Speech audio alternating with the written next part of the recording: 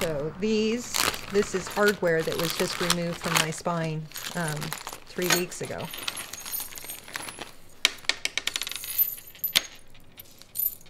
Those are all from my back. Yeah, so this is the screw that was going from here to here. I was a very active person. I had a really good life. I mean, I was happy. I, you know, my career was where I wanted it to be. My children were doing well. And then one day I went home and went to go get my mail and my back just collapsed on me. I ended up having to crawl back into my home. And then a week later, I had my first back surgery. Then I had another back surgery two months later and another back surgery two months later. And from there, it just progressed. I have had a total of 34 surgeries, 12 of those on my spine. I had cervical cancer, I had to have a hysterectomy, I got a transfusion, I got hepatitis C, um, I had hernia operations, I had to have mammoplasty, and you know, just my health just plummeted um, all of a sudden. In 2017, I went to the pain management doctor. Basically, he said, you know, that doctors have to taper their patients um, down greatly on their pain medications, and we're going to have to reduce you 80%, take 80% of your pain meds away. At that time, I was so flabbergasted and I walked outdoor, came home and cried, and then, you know, started looking into why, why, you know, why is this happening? You know, I didn't do anything wrong. In 2017, an estimated 72,000 people died of overdose deaths in the United States, many of them from prescription opioids. Because of that, doctors feel intense pressure to reduce prescribing of these medications.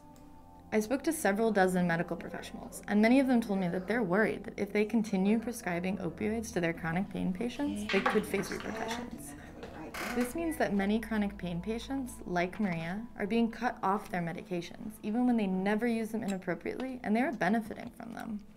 I have some serious issues with my body that can't be fixed. They're incurable diseases, medical conditions that can't be treated. The only thing I have going for me is my pain treatment, and to take that away, it makes me feel like my life doesn't matter. It doesn't matter if I suffer. My pain doctor told me that he regrets doing this to me, that I don't deserve this, and he's sorry. But that he has to do it. And I haven't done anything wrong, and they've acknowledged that I haven't done anything wrong, but they're tapering every one of their patients, and it's just the way it is. It is a really hard situation for doctors these days. There's a lot of pressures on us um, to reduce the dose because of the, um, all the overdose deaths and the regulatory changes and insurance companies' limitations. A lot of doctors may be concerned about losing their license, although that rarely happens. But a lot of doctors are, are concerned about that and they don't actually know where the boundaries are, and so they think it's safer if they use lower doses um, or just completely stop prescribing. I understand them going after pill mills. I totally get that. I think that we should count pills. I think we should keep people uh, accountable for every pill because there is a problem out there. But the people that need the drugs should be able to get them. I think increasing opiates is a terrible thing to do. The challenge we have is the people that are already on the higher dose.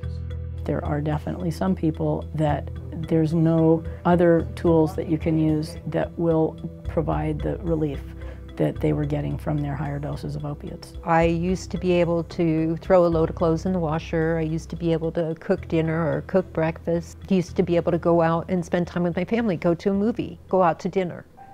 The only time I leave my house anymore is to go to a doctor's appointment. But I spend a lot of time in here. It's either here or in the chair, whichever is making me more comfortable at the time, you know. Being tapered, it's not just a physical issue, but it's also an emotional because you are losing parts of your life. It has an effect on everybody around me. I know people that have gone to street drugs. A lot of people right now, a lot of pain patients are committing suicide because they can't handle the pain. Whenever I hear of a patient committing suicide because they're suffering in pain, I can relate because I have so much respect for life and I don't want to see my family suffer. I have not considered suicide. But I can't say that if my pain keeps getting worse and going untreated, that I may change my mind in the future. Of course, the government has to work to tackle the opioid overdose crisis, but it also has to minimize harms to patients like Maria who have a legitimate medical need for these medications.